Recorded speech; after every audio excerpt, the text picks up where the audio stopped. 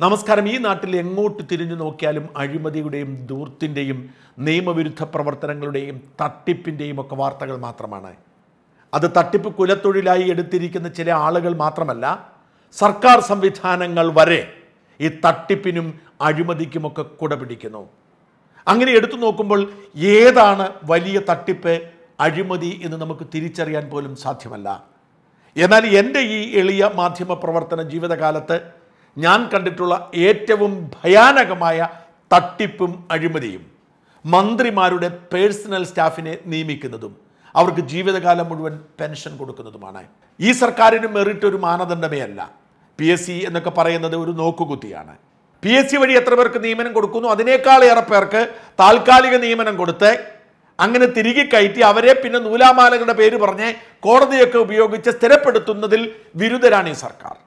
അങ്ങനെയൊക്കെ നടക്കുന്നുണ്ടെങ്കിലും യാതൊരു യോഗ്യതയുമില്ലാതെ പാർട്ടി പ്രവർത്തകൻ എന്ന ഒരു ഒറ്റ കാരണത്തിന്റെ പുറത്ത് ഒരു ടെസ്റ്റും ഒരു മാനദണ്ഡവും ഒന്നുമില്ലാതെ ഒരാവശ്യവുമില്ലാതെ തിരികെ കയറ്റുകയും അവർക്ക് പെൻഷൻ കൊടുക്കുകയും ചെയ്യുന്ന ഭൂലോക തട്ടിപ്പാണ് മന്ത്രിമാരുടെ പേഴ്സണൽ സ്റ്റാഫ് നിയമനം.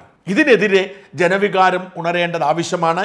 ഗവർണർ അതാണ് ജനങ്ങളുടെ ശ്രദ്ധയിലേക്ക് കൊണ്ടുവന്നത്. എന്നാൽ ഗൗനിക്കാതെ സർക്കാർ ചെയ്തത് മുനിസിപ്പൽ ചെയർമാൻമാർക്ക് കൂടി പേഴ്സണൽ സ്റ്റാഫിനെ അനുവദിക്കുകയാണ് ചെയ്തത്. ഈ തട്ടിപ്പ് സർക്കാർ ഒരു പ്രത്യേക സ്പെഷ്യൽ റൂൾസ് ഉണ്ടാക്കി നടത്തിക്കൊണ്ടിരിക്കുന്നു.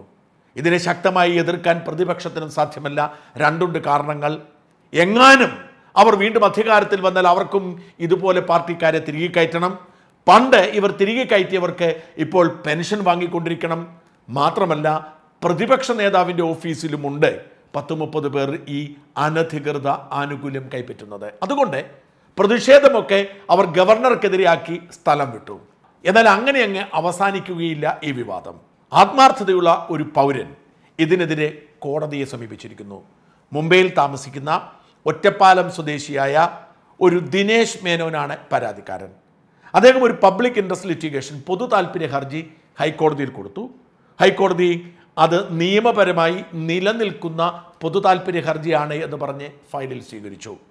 കോടതി തീർച്ചയായും ഇതിന്റെ വിശദാംശങ്ങൾ തിരയും. ഗവർണർ അടക്കമുള്ളവർ ഒരുപക്ഷെ ഇതിൽ അവരുടെ സാക്ഷ്യം പറഞ്ഞേക്കാം. ദിനേശ് മേനോന്റെ ആവശ്യം ഇത് ഭരണഘടനാ വിരുദ്ധമാണ് എന്ന് പ്രഖ്യാപിക്കണം. ഏത്? ഇതിനു വേണ്ടി നിർമ്മിച്ചിരിക്കുന്ന സ്പെഷ്യൽ റൂൾ. ഗവൺമെന്റിന്റെ സ്പെഷ്യൽ റൂളൊക്കെ നിയമിക്കാം. അത്തരം സാഹചര്യം ആവശ്യപ്പെടുമ്പോൾ.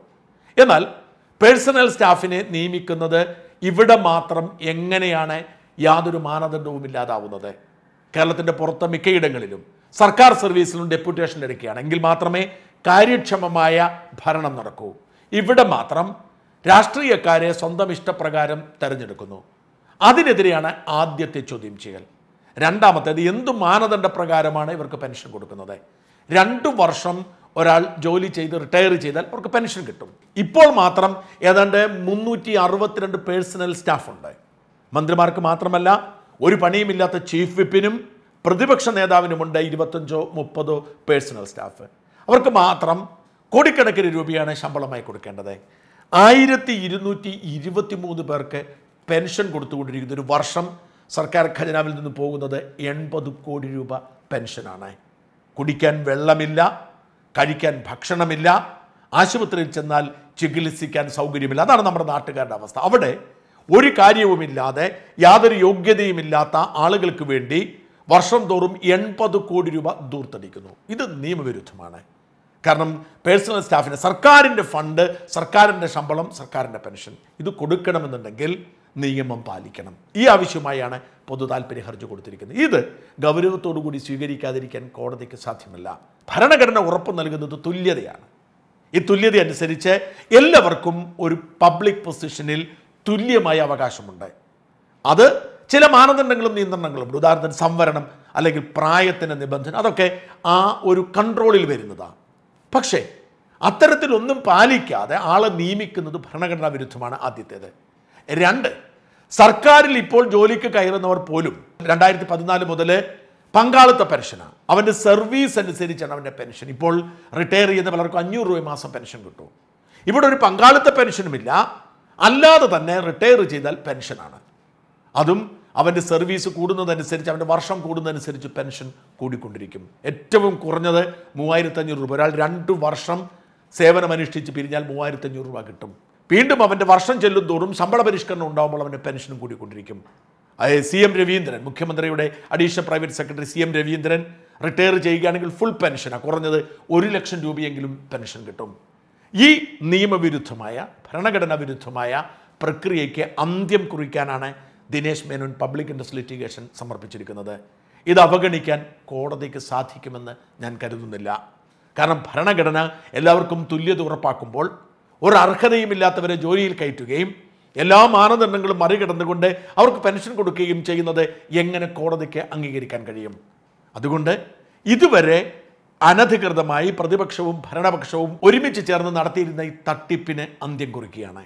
കോടതി ഇതിൽ ഇടപെട്ടാൽ പേഴ്സണൽ സ്റ്റാഫ് നിയമനവും പെൻഷനും അവസാനിപ്പിക്കാൻ തീരുമാനിച്ചാൽ രാഷ്ട്രീയക്കാരുടെ ഭിക്ഷാന്താഹികളായ മന്ത്രിദാസന്മാർക്ക് വലിയ തിരിച്ചടിയാവും. ശമ്പളവും കിമ്പളവും ഒന്നും ഇല്ലെങ്കിൽ വെറുതെ പോയി സേവനമനുഷ്ഠിക്കാൻ ഇവർക്ക് താല്പര്യമില്ല. ശ്രദ്ധിക്കേണ്ട ഒരുപാട് കാര്യങ്ങളുണ്ട്. കേന്ദ്രമന്ത്രിമാർക്ക് പെൻഷൻ ഇല്ല എന്ന് പലർക്കും അറിയാമോ? അറിയില്ല. എം പിമാർക്ക് കിട്ടുന്ന ആനുകൂല്യങ്ങളാണ് കേന്ദ്രമന്ത്രിമാർക്ക് കിട്ടുന്നത് എന്നാണ് മന്ത്രി മുരളീധരൻ എന്നോട് പറഞ്ഞത്. എന്നാൽ ഇവിടെ മന്ത്രിക്ക് പെൻഷൻ എം എൽ എക്ക് പെൻഷൻ ആനുകൂല്യങ്ങളെ ശമ്പളങ്ങളെ എന്തൊക്കെയാണ്? ഒരാൾ എം എൽ എയോ എം പിയോ മന്ത്രിയോ ഒക്കെ ആവണമെങ്കിൽ അതീവം എടുക്കാനാവണം പിന്നെ എന്തിനാണ് ഈ നാട്ടുകാരുടെ പണം കൂടി അവൻ കൈപ്പറ്റുന്നത്? പൊതുപ്രവർത്തനം എന്ന് പറയുന്നത്. നാട്ടുകാരെ സേവിക്കാനുള്ള പദവിയാണ്. അതുകൊണ്ട് മന്ത്രിമാർക്കും എം എൽ എമാർക്കും പോലും ശമ്പളവും പെൻഷനും കൊടുക്കുന്നത് നിയമവിരുദ്ധമാണ്. പിന്നെ പോട്ടെ അവർ ജോലി ചെയ്യുന്നു ശമ്പളം വാങ്ങുന്നു. പക്ഷേ നിയമവിരുദ്ധമായി ചിലരെ തിരികെ കയറ്റി അവർ വേറെയും അവർ ഈ ട്രാൻസ്ഫർ കൊടുത്തും പോലീസിൽ വിളിച്ചു പറഞ്ഞു ഒരു മന്ത്രിയുടെ ഓഫീസിൽ പറഞ്ഞു ഫോൺ വിളിച്ചാൽ പോലീസുകാർ ചെയ്യില്ല. അങ്ങനെ അവർ ചിക്കിലി ഉണ്ടാക്കുന്നുണ്ട്. അതിന്റെ കൂടെ അവർക്ക് പെൻഷൻ കൂടി കൊടുക്കുന്ന ഈ തെമ്മാടിത്തം അവസാനിപ്പിക്കേണ്ടതുണ്ട്. അതിനുള്ള തുടക്കമാണ് ദിനേശ് മേനോൻ കുറിച്ചിരിക്കുന്നത്. ഞാൻ ദിനേശ് മേനോനോട് ചോദിച്ചു എന്താണ് ഇങ്ങനെ ഒരു തീരുമാനത്തിന് പിന്നിലെന്ന്? അദ്ദേഹം പറഞ്ഞ വാക്കുകൾ കൂടി കേൾക്കുക. നിങ്ങൾ ഇങ്ങനെ ഒരു പബ്ലിക് ഇൻഫ്ലിറ്റേഷൻ കൊടുക്കാനുണ്ടായ കാരണം എന്താണ്? വളരെ വളരെ സിമ്പിൾ ആയിട്ടുള്ള കാരണമാണ്. അതായത് ഞാൻ കേരള ഗവൺമെന്റിന് ടാക്സ് അടയ്ക്കുന്നുണ്ട് അപ്പൊ എന്റെ പൈസ അതായത് ഞാൻ ഫോർ എക്സാമ്പിൾ എന്റെ വില്ലേജ് വേങ്ങശ്ശേരി ഓർമ്മ വെച്ച മുതൽ അവിടെ ഒരു ഡെവലപ്മെന്റ് ഉണ്ടായിട്ടില്ല. പിന്നെ രണ്ടാമത് ഒരു മെഡിക്കൽ ഫെസിലിറ്റി അതായത് ഒരു ബേസിക് മെഡിക്കൽ ഫെസിലിറ്റി കൂടി ആ വില്ലേജിലില്ല അതായത് പാർട്ടി നടത്തിയിട്ട് പാർട്ടിയുടെ ആൾക്കാരെ കൊണ്ട് അവർക്ക് പെൻഷൻ കൊടുക്കുക അവർക്ക് പർസ് കൊടുക്കുക. അപ്പൊ ഇതൊക്കെ അതായത് ഗവൺമെന്റിന്റെ അതായത് ഞാനും ഇതേമാതിരിയുള്ള പല ആൾക്കാരും ഗവൺമെന്റിന് പൈസ കൊടുക്കണതല്ല ടാക്സ് ആയിട്ട് ബാക്കി നടത്താനാണോ കൊടുക്കുന്നത് ഏത് വക്കീലാണ് കേസെടുത്തിരിക്കുന്നത് അഡ്വക്കേറ്റ് സേതനാണ് ദിനേശ് മേനോൻ ബോംബെ ബേസ്ഡ് ആണോ അതോ കേരളത്തിൽ തന്നെയാണോ? ആ ഞാൻ ബോംബെ ബേസ്ഡ് ആണ് എന്റെ നൂറ് കൊല്ലം പഴക്കമുള്ള തറവാട് കൊണ്ട് ഒറ്റപ്പാലത്ത് വേങ്ങശ്ശേരിയിൽ അങ്ങയുടെ ലക്ഷ്യം എന്താണ്? അഴിമതി അവസാനിപ്പിക്കണം. എന്റെ ലക്ഷ്യം ഇത്രയേ ഉള്ളൂ. അതായത് കേരളത്തിലെ ജനങ്ങൾ മനസ്സിലാക്കണം. അതായത് നിങ്ങൾ ടാക്സ് അടയ്ക്കുന്നു. നിങ്ങളുടെ ടാക്സിന്റെ പൈസ പാർട്ടിക്കാരെ വളർത്താൻ വേണ്ടിയിട്ടും അവർക്ക് പെൻഷൻ കൊടുക്കാനും അവരുടെ പറച്ചിനും അവരുടെ മക്കൾക്ക് വീട് കൊടുക്കാനും ഇതിനൊക്കെ ആയിട്ട് യൂസ് ചെയ്യണു? അതുകൊണ്ട് ഞാൻ അത്രേ ഉള്ളൂ എനിക്ക്. അതായത് ജനങ്ങൾ മനസ്സിലാക്കണം